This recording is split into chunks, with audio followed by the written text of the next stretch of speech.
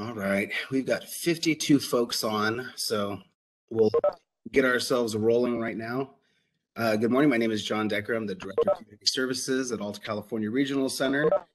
We are recording this uh, Coffee with Community Services, and uh, it's available to review these recordings on our website. If you go to altaregional.org, you can find the link for the Coffee to Community Services, uh, and there's YouTube links on there. I am going to say good morning to, let's see, we've got, I see Nicole on here. I see a bunch of uh, regional center staff. I got Zach on here, my assistant, associate client services director. We've got Tracy Brown here. And we've got community services manager Olivia Persida, and we've got Gino Nessie, and we've got specialized services and supports manager Jordan Eller, and we've got Heidi Dilly, Grass Valley office, one of our managers, and Hewitt, our emergency response coordinator, and Cindy Lay, our HCBS specialist. We've got Marty here from our community services department, and Shirley, and Dee Dee, and Heather. Wow, we've got a, a full crowd of folks here. And last but not least, our director of client services, Michelle Johnson, as well, is with us. So we've got uh, about 60 folks on so far this uh, morning, and we're going to get rolling into our agenda. Uh, thank you for rejoining us for this meeting. It's been, as I mentioned, it's been what three weeks or so since we last got together, and uh, it was tough. I will tell you, there's so much that occurred over this three weeks. It was a little tough not having this group of folks to kind of talk it out with a little bit, to talk a little bit about what's going on and also how it's impacting you as service providers. So we are going to be discussing some of those things that occurred during that time period and also kind of some upcoming stuff. So um, we're going to be discussing the booster mandate that came out on uh, December 23rd. Or excuse me, I would say December 22nd. And uh, we're going to be discussing um, our COVID cases, what's going on at our regional center for our population. We're going to discuss a little bit about uh, testing um, about uh, the ability to get tests, how to get tests, etc. And I would uh, welcome Dana as well, one of our client services managers, who is very faithfully attending these meetings on Friday always. And uh, we're going to talk a little bit more about um, uh, the Sacramento County public health order that went out as well a couple days ago, that many of you I'm sure are familiar with a little discussion about in-person services, in-person meetings with service coordinators, etc. Just a little kind of reminder of where we're at. And we'll discuss PPE a little bit and then some of our activities related to our community placement plan um, and community resource development plan submissions to the Department of Developmental Services. So uh, first and foremost, I will, um, as I typically do, I will share my screen so that folks can see where I am pulling my information from. And so you can see here there is a, a, a DDS's website that is up. And if you go to the main page at DDS, is everyone seeing DDS's website there? Yep. Okay, very good. And um, when you go to DDS's website, if you click over to what's new and look at the highlights, you can see information about the booster shot mandate. Certainly heard a lot of over the over the holidays. Uh, certainly heard a lot of feedback from service providers um, related to the very short time frame that was put in place for the booster mandate um, for there to be an in essence an immediate expectation that uh, significant amounts of additional testing would need to go on for employees and um, we would share that the regional center is in that exact same boat as well, but we want to make sure that you as service providers are aware where to get this information. We did have some service providers, um, you know, granted, we send this out to everyone that is signed up um, via our MailChimp server at, uh, on our website. But even with the vaccine mandate um, that occurred previously, we still had providers like on the last day of the mandate that we're you know kind of wondering what was going on. So we really want folks to be able to navigate to this dds website and see these important uh, updates that are provided by the department of developmental services. So again you can find a lot of this stuff on dds's website and right here there is the booster shot mandate and other information here. One of the things that's helpful in this and this is contained in other uh, documents related to the public health order, is timeframes, letting you know, you know, for your staff when um, your staff are need to get going to get boosted or not. Um, and so I'm gonna stop sharing my screen real quickly and just talk about this kind of in general. So um, as we did previously when we talked about the original vaccine mandate that came out, um, it's really important for you as soon as possible as service providers to have discussions with your employees and be able to take a look at how your employees' vaccination status aligns with the necessity to have the booster. Um, right now, if you have not figured it out for your staff, I would encourage you to do it as soon as possible and begin outreach to your staff so that they are aware that um, the booster is going to be required. And um, my hope is uh, that you guys, by this point, have got good enough connections where you can let your staff know where they might go to go get that booster shot as well. Um, I will share for our regional center. We sent out the notice today, I believe, uh, to our staff for folks that are required to um, get that booster. And we talked a little bit about some upcoming booster shot clinics that we are going to be hosting at the regional center as well.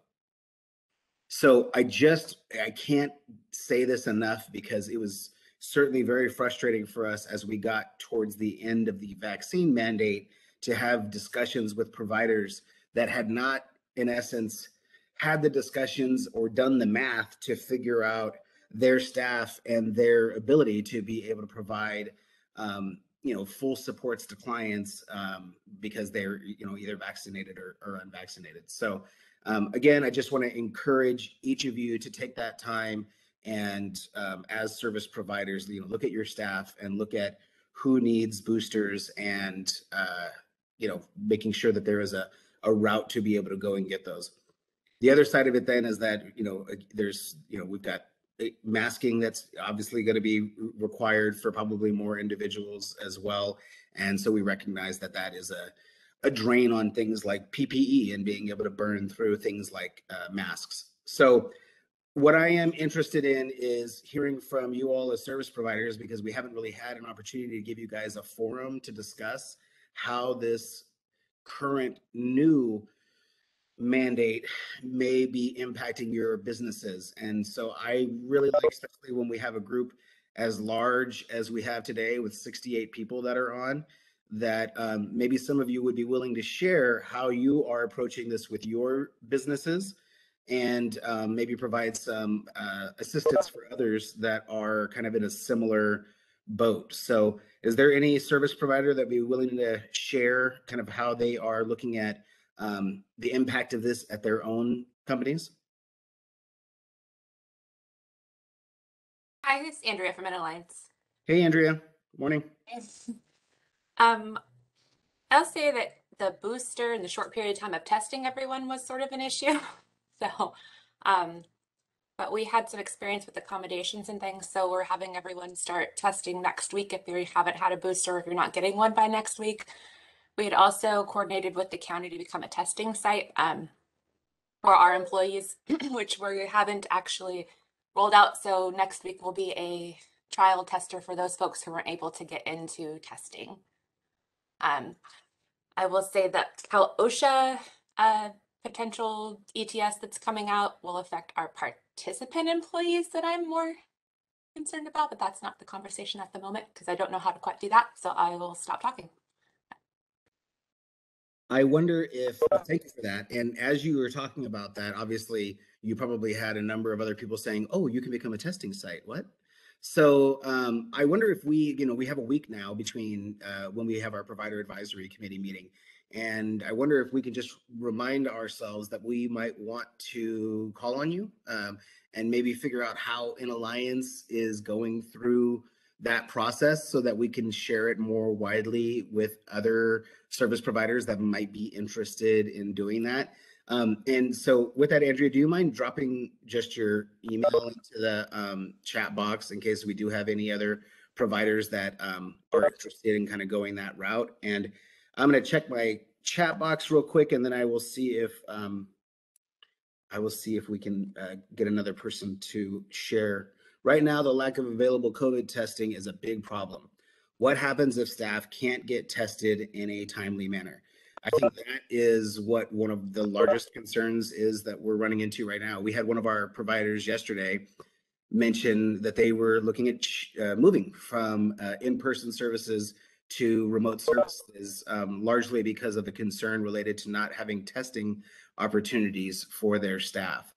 Um, so other companies, other other uh, responses that you guys have tried to do um, uh, to this new mandate.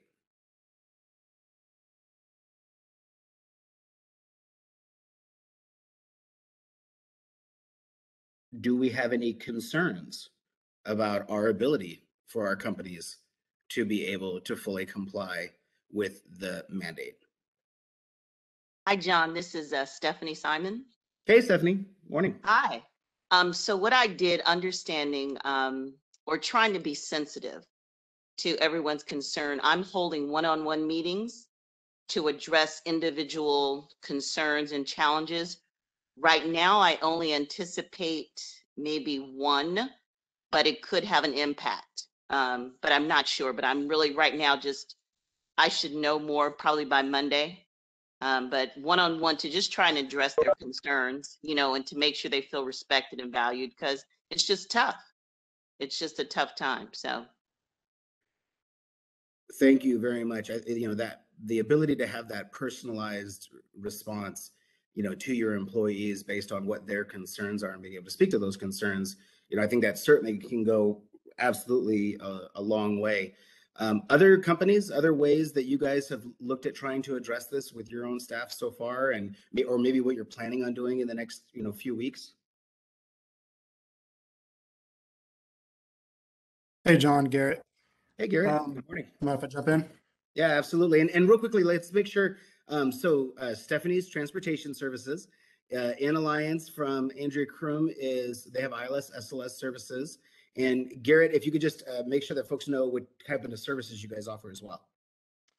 Yeah, we have uh, supported living, so we're doing services in people's homes. We have about 35 clients. Um, so there's a there's a bunch of layers to this. Uh, first of all, you have to figure out who's eligible, who's not. Um, so one of the concerns and difficulties there is that there's some uh, administrative overhead, both in time and cost, because um, with the previous mandate, it was everybody by a certain date. And with this one, it's you have to figure out who is vaccinated, who's not, um, and then everybody becomes eligible for their booster on a different date. Um, so even though you have a whole bunch of people who may need to get boosted at some point, you need to be having these conversations at, at, at different times. So we had to figure out, okay, who has to be tested uh, starting that first week, and then who do we need to be in touch with um, at what point after uh, um, uh, February 1st. So that was sort of the first concern set and thing we had to figure out.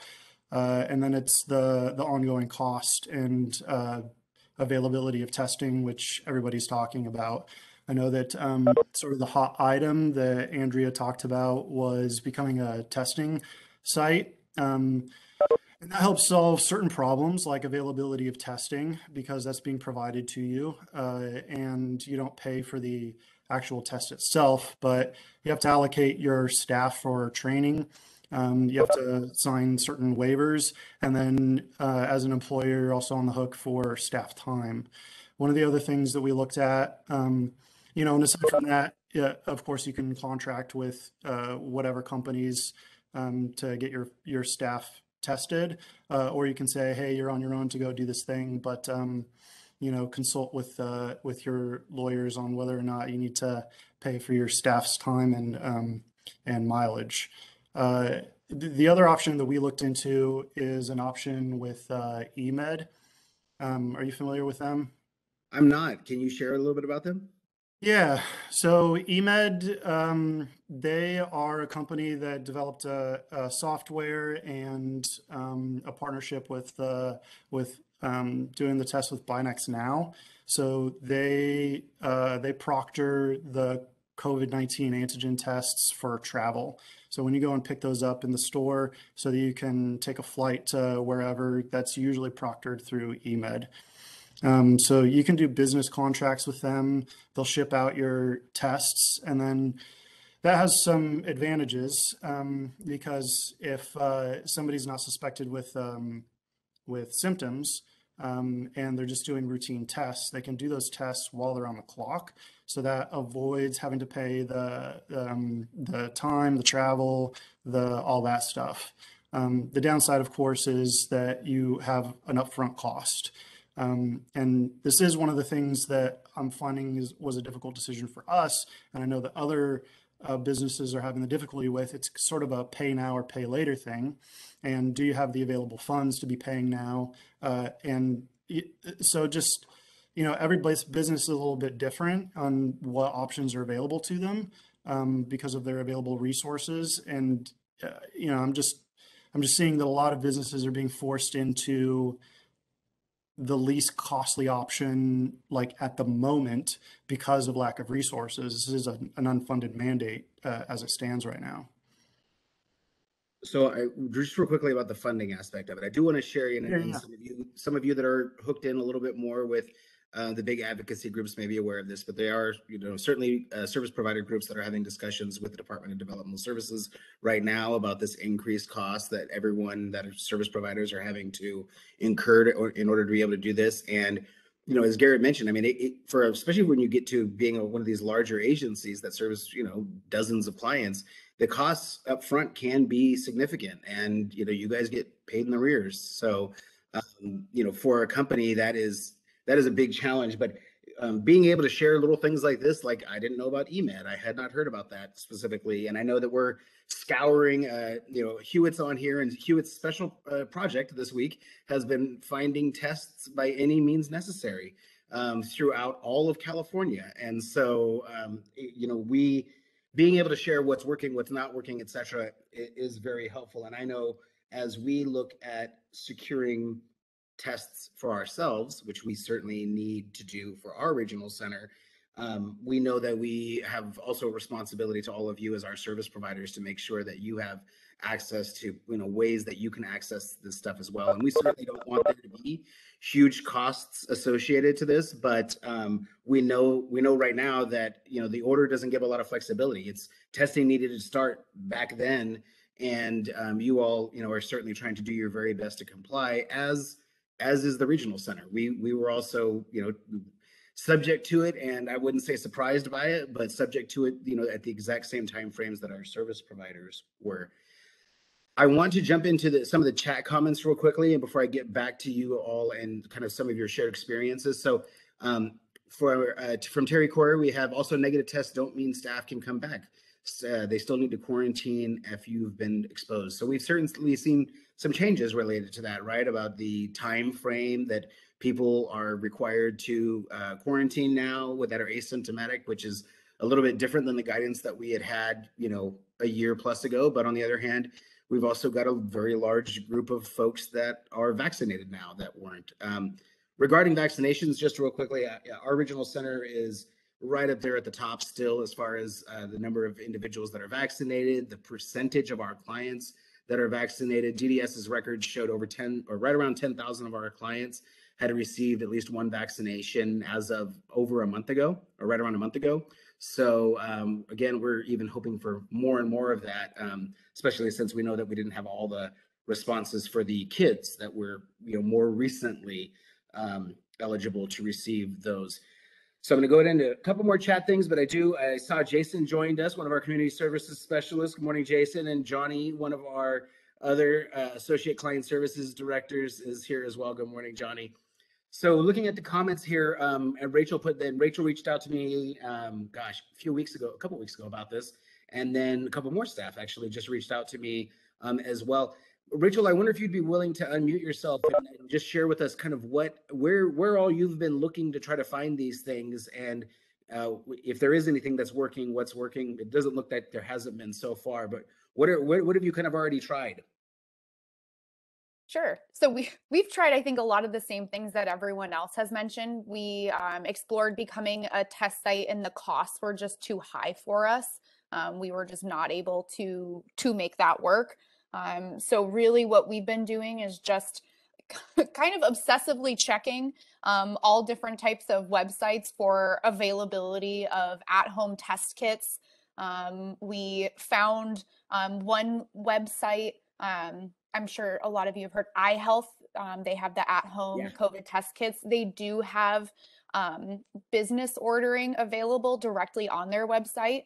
So you can, you know, purchase, I think like 180 um, test kits, I want to say is like the um, the cheapest option that they have. So we are um, probably going to be purchasing just those at-home test kits for when we have staff who can't get into, um, you know, actual in-person testing locations. Um, but really, it's we've just been, you know, checking every website we can to see where there are appointments available for testing. Um, but it's been um, it's been directing or uh, impacting our direct services with individuals because we just, you know, we can't get staff tested. We don't know what their status is. Um, we do not want um, anyone to to get sick because they have um, someone show up to support them who is potentially um, infectious. Um, so yeah, it's it's been a really uh, challenging few weeks. I know we've had the highest number of cases in the past three weeks than we've had in almost two years. Um, so we're just really concerned about people and are just, yeah, having a tough time finding any sort of testing.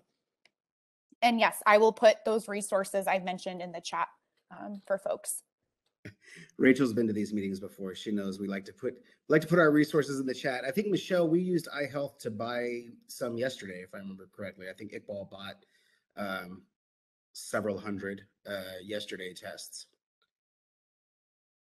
We um again, you know, this is impacting everyone, so it's it, I think it's good to look at the different comments and and hearing from you know whether it's day services, transportation, you know, uh, SLS, ILS, you know, it's it's it's all impacting us. Um, let's see. Uh, Kate asks, I may have missed this. This Andrea, would it be an option for other agencies to send staff to your testing site um, so, for tests? So, and Andrea's response is no. Um, that right now they're just starting with their own staff, and they're gonna have their first uh, go at it next week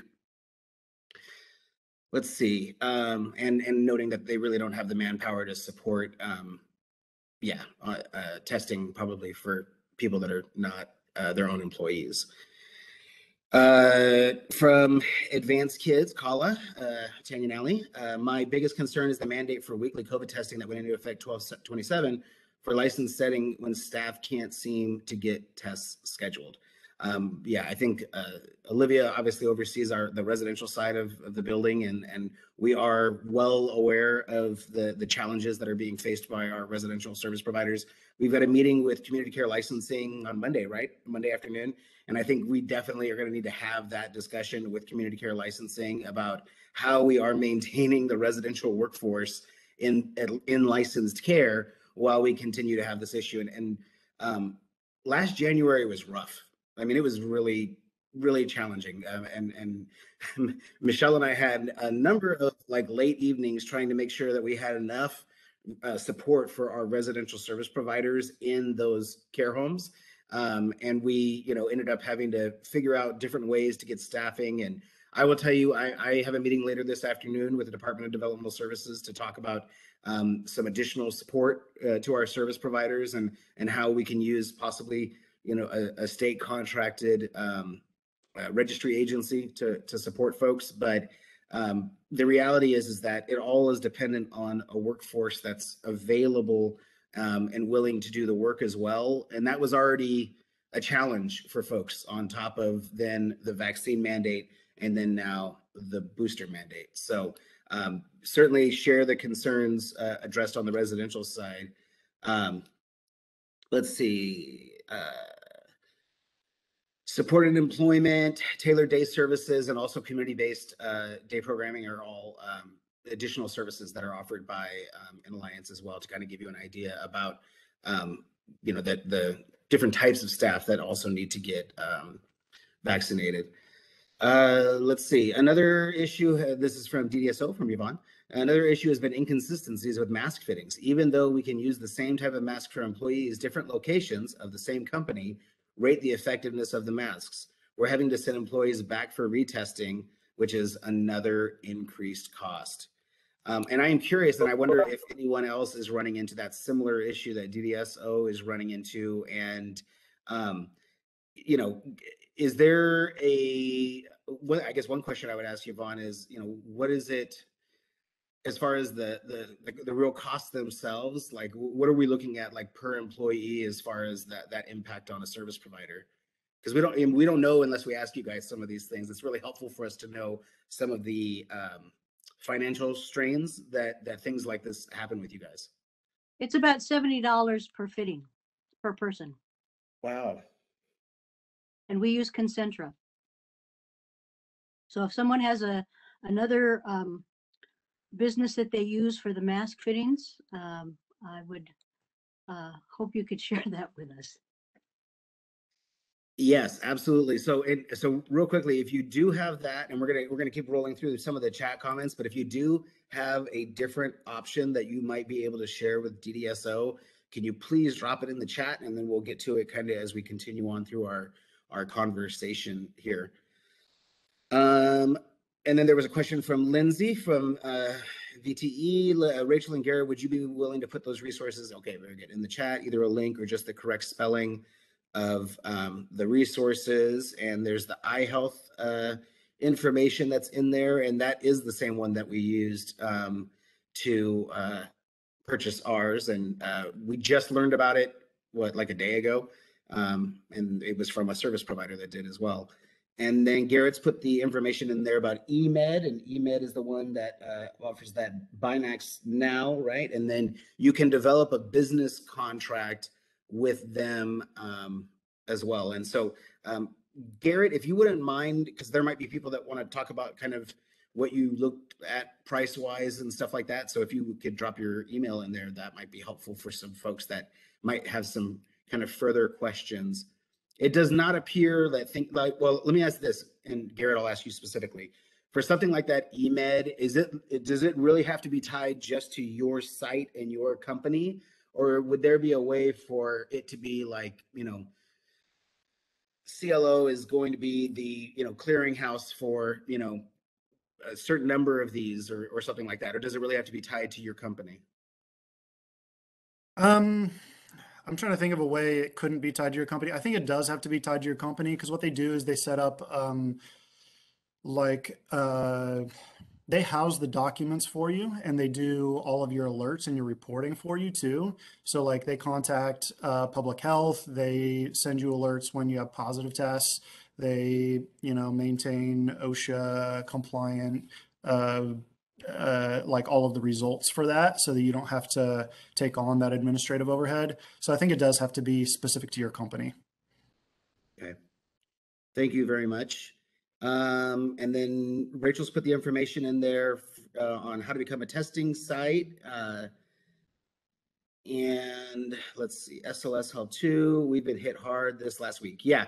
So um, again, as well, um, I will say we, we've had to do some things to help support some of our SLS agencies um, and, and certainly want to look at supporting all of our SLS agencies. But we did have um, some agencies that uh, really were impacted significantly by the snow and the power outages that occurred um, and trying to support clients that were in those types of situations. And so um, I will say that Alta is looking at uh, some additional support to those specific agencies. Um, but just in general, talking about all of this, there's just these increased costs that everyone is seeing. And again, this meeting helps bring some of that stuff into focus for us because you know we're not having you know one-to-one discussions with you know the uh, what 1200 or so different vendorizations that bill us every month um, about you know this specific impact uh, Charlie Coco, good to hear from you. Um, will Cal EVV be discussed it, at all in this meeting?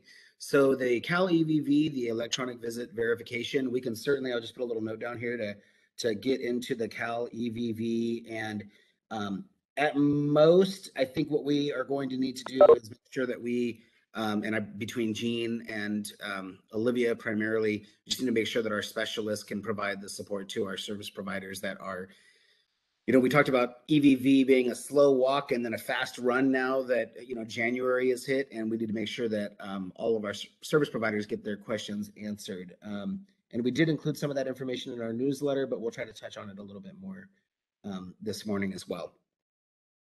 Um, so let's see. Uh, uh, WellSpace. So this is from Kate um, uh, from Southside Unlimited. WellSpace at 2433 Marconi had test kits available this morning, PCR or rapid, but they said they'll probably run out um, and it's walk in. So if anyone is nearby uh, Marconi uh, in Sacramento and you want to be able to go swing by and grab some tests, I think the what did we learn that the libraries were giving out the, public libraries were giving out tests uh, two three days ago uh, as well that you know could be picked up there. Jody Bailey uh, says that up in El Dorado County, um, they sent out their person to the facility, and so maybe check with the um, with the with the county. So Jody, um, if you would not mind unmuting yourself real quickly, I just want to ask a question about that. So that was um, a person from El Dorado County Public Health then that came out and did testing for you guys. Uh, no, they did, came out and did the fit, the fit test. Oh, For they came out and did fit testing. Yeah, Okay. it was, it was free for the organization. Well, DDSO needs to move up to El Dorado County apparently. I was just uh, saying, check with the county possibly. Yeah, yeah, that would be, um, that's, thank you, very good advice. Um, and then, uh, Jessica, do you mind real quickly, the, the Wellness Mart for the fifty-five dollars? Can you explain, is that for the mask fittings or is that where I can go buy a bunch of tests? That one's for the the fit testing. Oh, very good. Okay, so we have Wellness Mart as a resource for fit fit ah, fit testing. Um, and then you see Garrett's information that he's put in there. If you wanted to talk a little bit more about eMed and what they're doing with their company, um, have organizations. This is from Lindsay Dyba, um, VT. Have organizations change their quarantine protocols to be in line with CDC's five-day quarantine of vaccinated individuals. We have kept the 10 day quarantine requirement because I have seen CDPH update their quarantine guidance and we need to follow the most restrictive guidelines. But wondering how others are handling this. So again, we, we mentioned that a little bit earlier that, that we have these shifting, you know, shifting guidelines related to that um, specifically. So uh, other folks, are folks looking at uh, implementing the five day quarantine for your asymptomatic staff that have been um, exposed or, or are we looking at a, a 10 day still?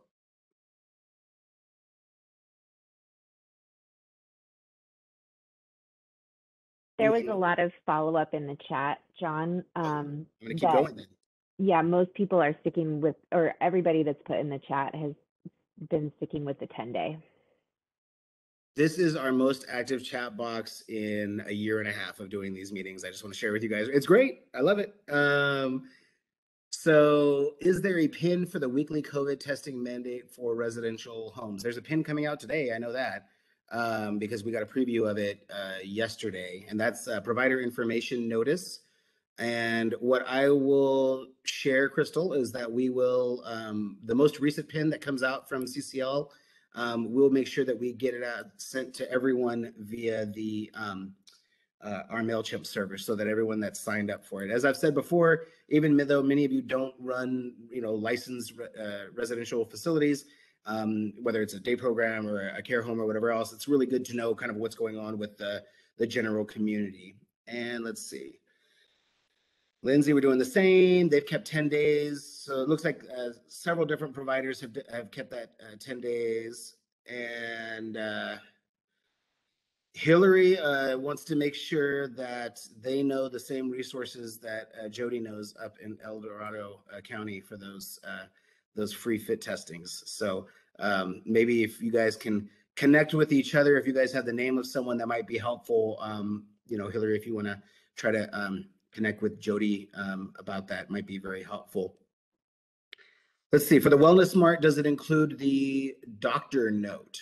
Um, let's see, do we have an answer for that one? For Wellness Mart, Does it include the doctor note for someone that has already used it?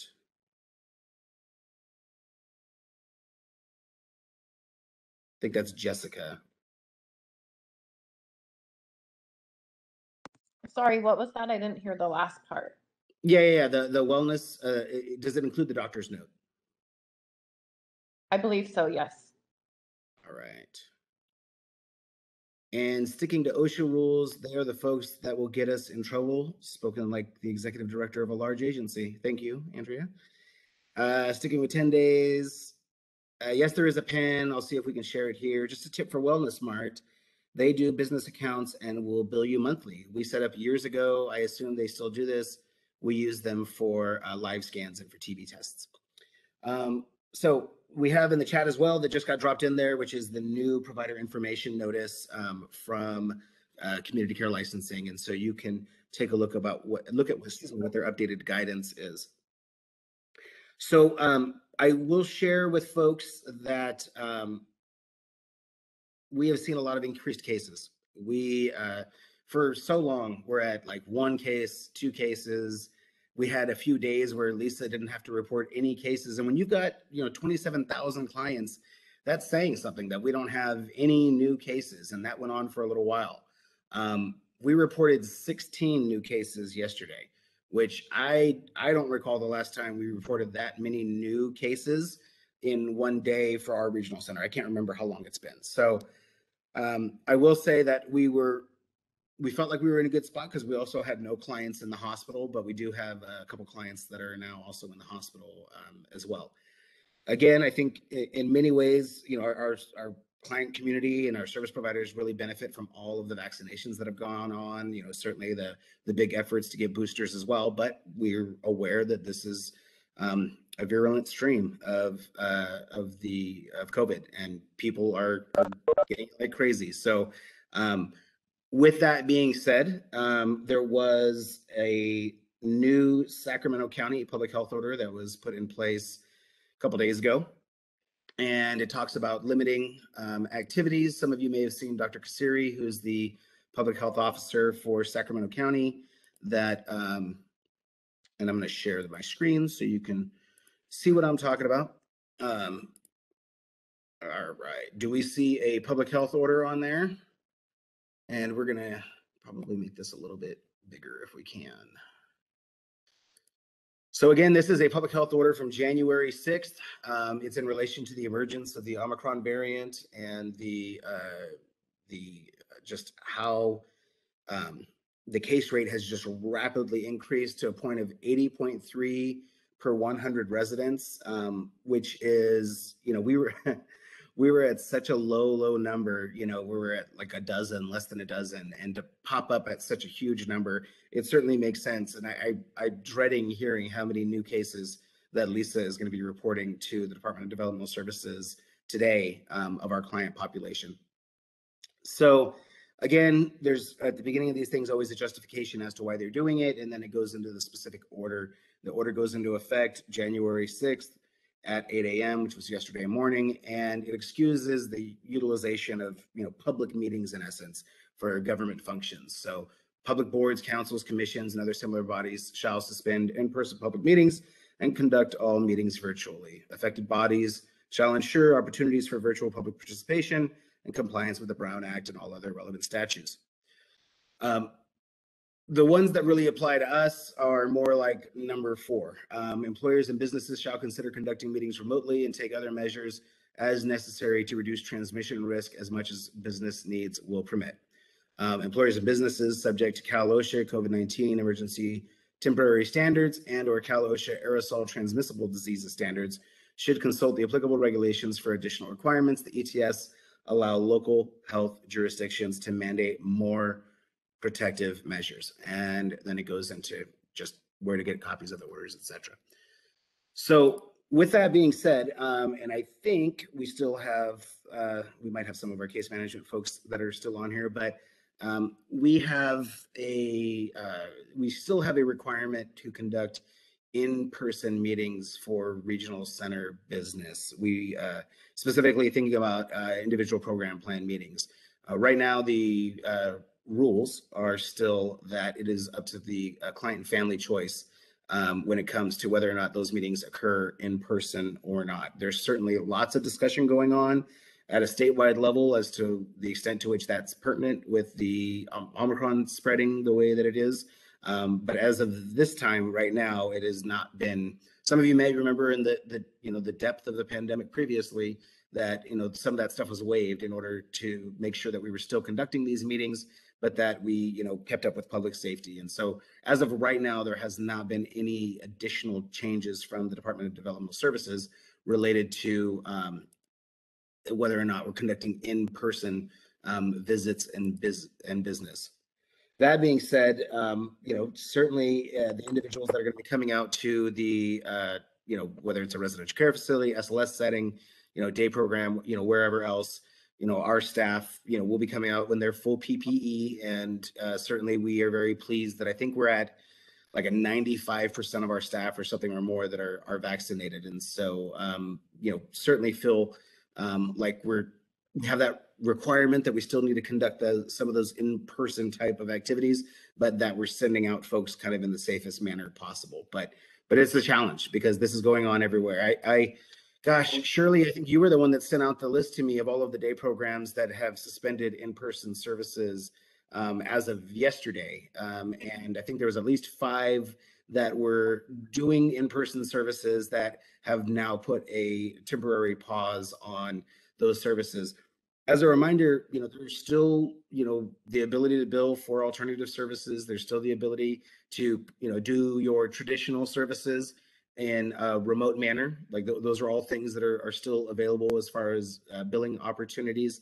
And if you are unsure about that, you know, you're welcome to reach out to your assigned community services specialist. Um, and if, as always, I always say, if you're unaware of who your assigned community services specialist is, you guys can reach out to Christine Hobbs, who is one of our office assistants. And um, maybe someone can drop her uh, email into the chat for you service providers if you want to reach out and find out who your specialist is. Let's see. So um, I want to touch on just a few more things here. Um, I'm going to actually throw it over to Olivia real quickly to give an update on the rate uh, study implementation kind of where we're at. So, so far we have received two batches from DDS. So our staff over the holidays had fun going through all those, digging into program designs, and then contacting providers if they had any questions. We received our third batch, I believe, on Monday. So accounting is doing their first round of their input, and then um, our specialists will be starting to work on those uh, the beginning of next week. So uh, that's kind of the update on that. We're trying to uh, get all the information up to date and move as quickly as possible so we can get the answers back to DDS to get the next pro- section going. Get into the role, you know? It's always got to just answer first people. Thank you very much, Olivia. Additionally, just to kind of share other things that are going on right now, we have um, the community placement plan and community resource development plan that are in uh, process. So I'm going to throw it over to Jordan, who is responsible for that side of things, to give us a little update on where we're at with it, when we're when we're going to supposed to be turning it in, etc. Exactly. Um, good morning, everybody. Happy Friday. Um, we are excited to be working on our CPP development plan for this year. Um, just to let you guys know, two things for sure that we are going to be requesting um, is uh, a 21 set aside unit housing project, right? That would be in Elk Grove. It's called Cornerstone. Um, I'm sure John may have previously mentioned to you guys the Mirasol Village um, housing project that we are currently working on developing, right? Um, we are also going to be asking for $10,000 to set up a demonstration unit for technology assistance, right? So if we have individuals um, that live independently, for example, right, and um, they they would allow us to put some kind of technology in to help monitor like their medication administration, right? So, for example, if we have a client who lives alone alone. And um, they kept their medications in a drawer. We, there would actually be a sensor on that drawer to know if the client opened up the drawer or not at the time that they were supposed to be taking those medications, right? Or for example, if we had a client that might sometimes wander the complex independently, it would allow a sensor to go off when the door was opened, right? So looking at a unit to educate clients and even our legislature, right, about what a unit would look like with assistive technology.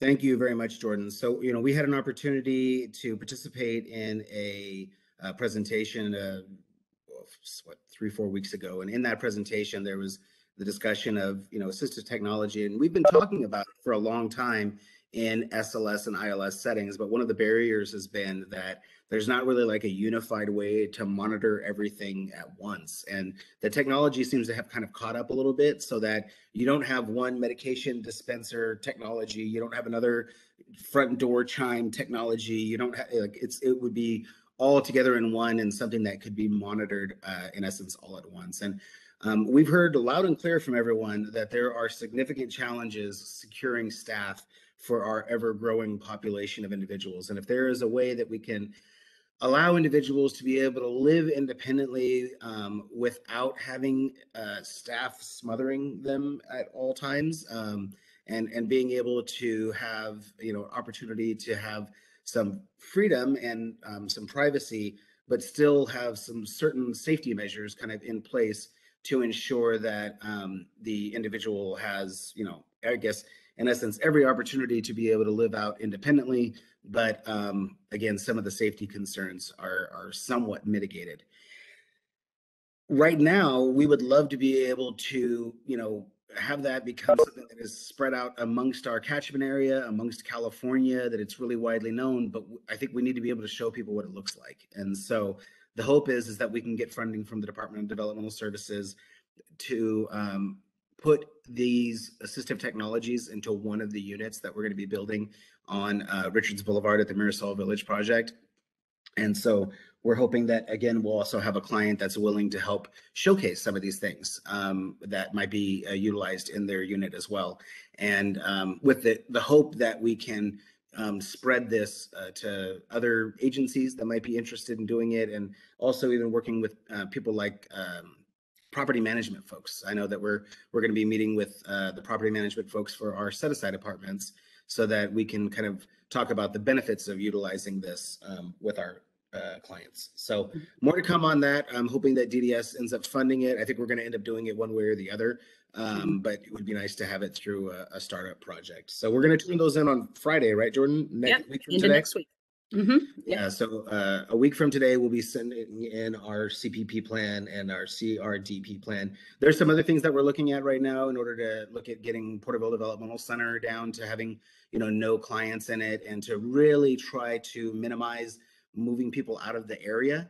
Um, so we've got individuals that are like in Southern California in really high level settings and um, it would be much better for us to have folks local here, you know, closer to their families and, and closer to the, you know, the rest of their planning team. And so uh, we're trying to work on a request for a few more services to do things like stepping people out of like high level, um, uh, you know, uh, institutional type settings like the the state run facilities. And so far, so much of it has been you guys, you SLS providers that have been, uh, you know, many of you that have taken these individuals directly out of those settings. And you guys know just how challenging that can be moving someone out of something like an Institute for Mental Disease, you know, right into a an SLS setting. So again, hoping to provide some, um, you know, additional supports to our clients so we can make those transitions happen.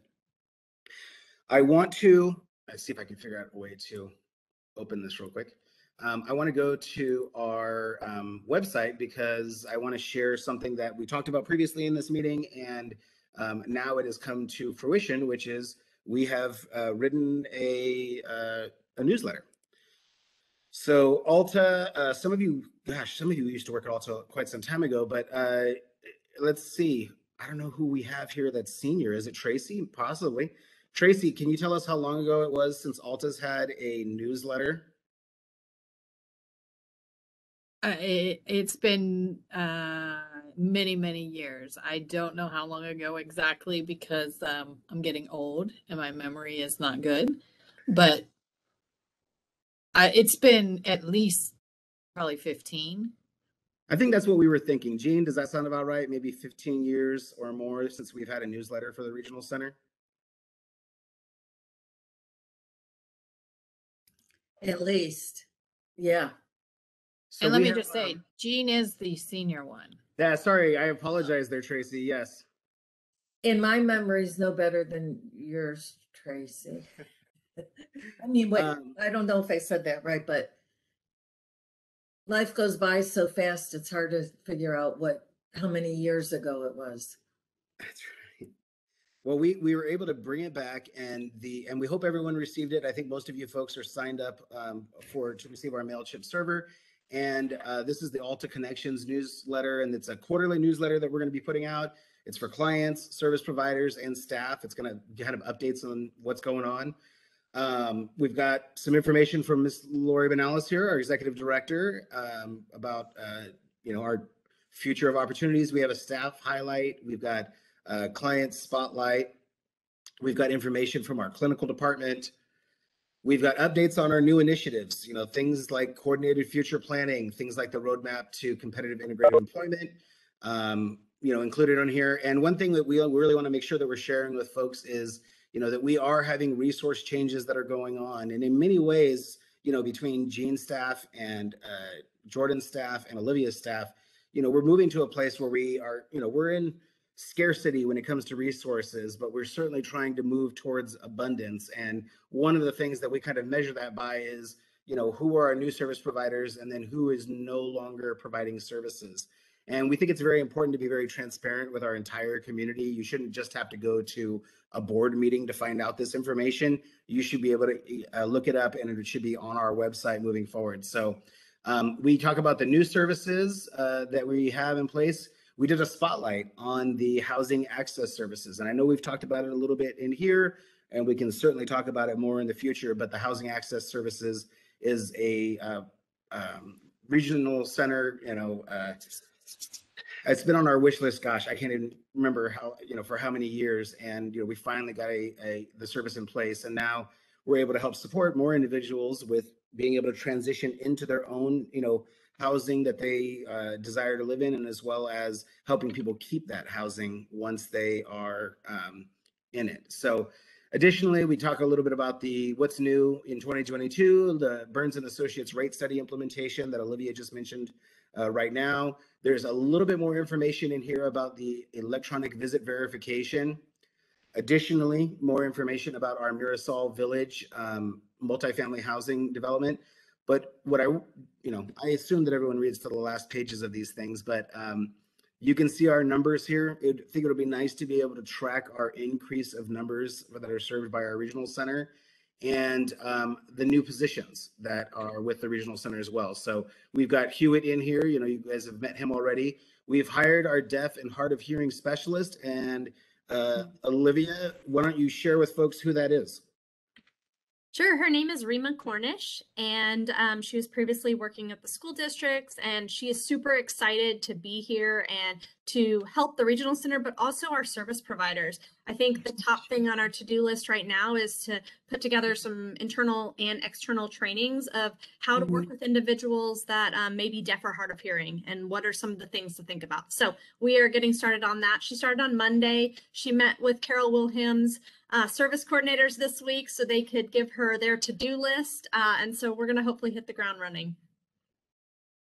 Perfect. Thank you very much. And um, additionally, we started this kind of new idea that Lori Banales had about wanting to feature um, our artists and wanting to support our artists in selling their work. And I thought it was a really cool idea. And so we, uh, and I met with some of our providers and we talked about it a little bit. And basically what we landed on, which I think we've shared with you in the past, is that we're going to do a rotation of um, every quarter, you know, looking at, you know, in essence, kind of sponsoring or or featuring one of our artists. And you can see Lindsay here and some of the things that she does. And um, again, just really appreciate uh, work of art in Auburn for uh, assisting and facilitating us to get all this information so we could, um, you know, be able to spotlight one of our very talented regional center clients. Additionally, and I just want to go over these last few things real quickly, we um, put some attachments here of things that we think are really important. So one of them is if you have a client that might be interested in one of those units on Richards Boulevard, now we have the way to sign up and to, a, to show your interest. So if you click on this, and we're going to send this out uh, again, I think on Monday as well. Um, but uh, if you click on this, it'll lead to a survey where you can put in your interest of possibly being able to rent one of the units on Richards Boulevard. And so um, I will say there's also information on here about the upcoming public meetings that we're going to be holding and how we're going to be going about, um, uh, you know, uh, making opportunities for folks to be able to access those units. Uh, Charlotte Coco, uh, thank you very much I, uh, for the question related to EVV. EVV is here and it's going to be here to stay. What we included here for everyone is the frequently asked questions about electronic visit verification that have been put out by the Department of Developmental Services. And so you can see the um, EVV FAQs that are in here. And what I would say related to any service provider, if you are unsure of, you know, at this point, if you're unsure whether or not you qualify or you should be doing EVV, um, please reach out to your assigned community services specialist as soon as possible. Um, we would love to get questions from service providers about EVV so that we can, you know, possibly even hold a, a, a vendor specific like vendor forum for those service providers that are required to do the EVV. So if you have issues or questions related to that, please reach out directly to your assigned community services specialist. And again, you can, you know, Christine Hobbs, and that's C Hobbs with an S at the end at altaregional.org, and she can let you know who your assigned specialist is. I'm going to stop sharing my screen, but I will, well, I will note as well, um, and for those of you that we also did translate this into Spanish as well. And the survey, for example, for the housing um, is also a Spanish uh, survey. And we are going to be looking at trying to expand this newsletter to more of our native languages that um, are spoken by our you know very diverse population. So we're just kind of getting started here. We're going to do Spanish first, and then we'll look at expanding it as we do more and more of these uh, quarterly newsletters. So with that being said, we filled up 59 minutes. It's been very tough uh, not being able to see you folks for several weeks. So I'm glad we had such lively discussions and so much information sharing in the chat box. Please uh, communicate with your community services specialist for issues or questions that you have. Thank you very much, Regional Center staff, for being here and letting me call on some of you guys as well while we we do this stuff. And um, again, just try to be as much of support to people as we can, um, and reach out to the Regional Center. Let us know you know what's going on with you guys um, you know so that we can see if we can provide some support and if anything i will share with you we will continue to have discussions about the increased costs that each of you are facing right now related to these mandates and seeing if there's any relief that we can look at providing broadly to all of you because you really fall under that category so um, we are certainly interested in trying to assist you guys so Hope you guys have a great rest of your day, a great uh, weekend. Look forward to talking to everyone next week, and uh, Happy New Year, folks.